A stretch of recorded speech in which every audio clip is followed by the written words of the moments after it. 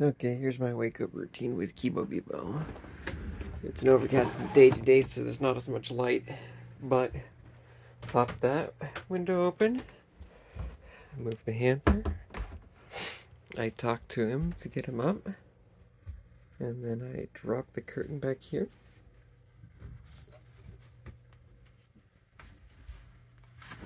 Good morning, little boy. Very hard to see in the low light.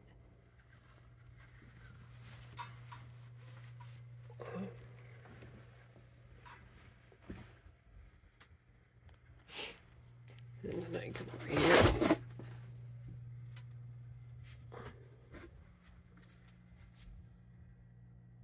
Hi, baby boy. People, people. Tuck that under there. The cage. Greet the boy. Hi, baby.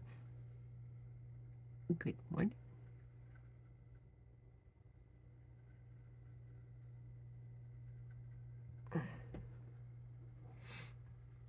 The little rectangle under him is a personal heater.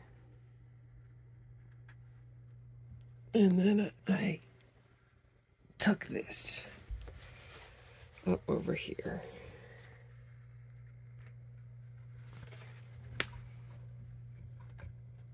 It's very hard to do this all with one hand.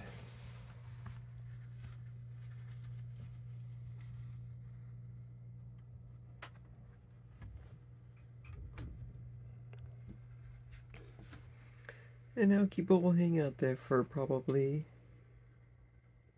a few minutes.